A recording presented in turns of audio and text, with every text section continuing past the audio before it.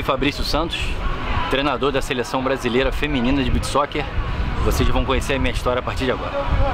Meu início na praia é quando criança, meu pai querendo me entrosar, né? Logo assim que eu me mudei para Copacabana. E aí meu pai me levava todo dia à noite pra praia pra gente jogar bola.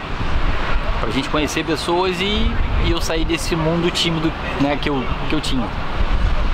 E eu comecei a jogar futebol de praia, comecei a me identificar com outras pessoas, e aí conheci um projeto na praia chamado Geração.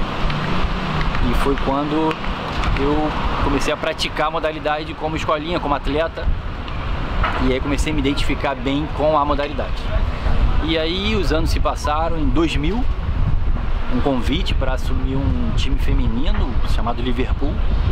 Ali eu dei início à minha carreira, ao meu trabalho direcionado ao beat soccer feminino. E aí até hoje tô, tô nessa, nessa luta, nesse prazer, nessa satisfação. Seleção feminina sempre foi um sonho pra gente. Pra gente, né, da modalidade militante do beat soccer.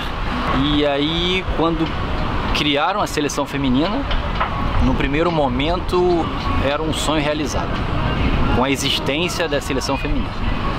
A partir do momento que eu fui convidado para assumir a seleção feminina, aí, além de ter um sonho realizado como modalidade, passou a ser um sonho realizado como profissional, como pessoa. E aí, a partir de então, a gente começou o trabalho juntamente com a CBSB, com a nossa confederação, um trabalho para divulgar a modalidade feminina, trabalhar a modalidade feminina, fazer com que meninas do nosso país se juntassem para representar a nossa seleção numa competição tão importante que era o World Beach Games, foi a nossa primeira competição.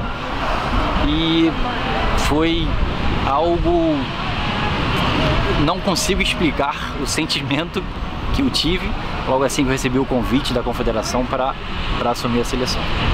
A modalidade feminina de beach soccer para o Brasil, né? Ela começou agora recentemente. Então assim, tudo é muito novo.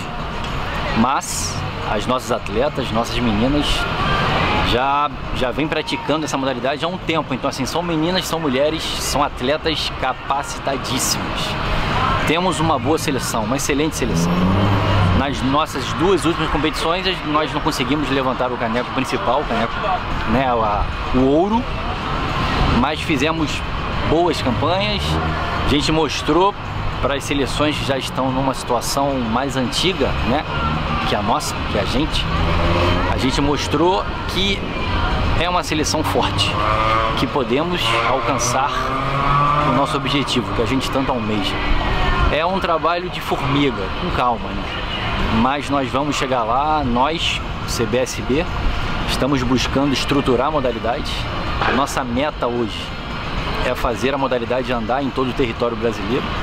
Né? A gente quer chegar em todo, todo cantinho do Brasil ali.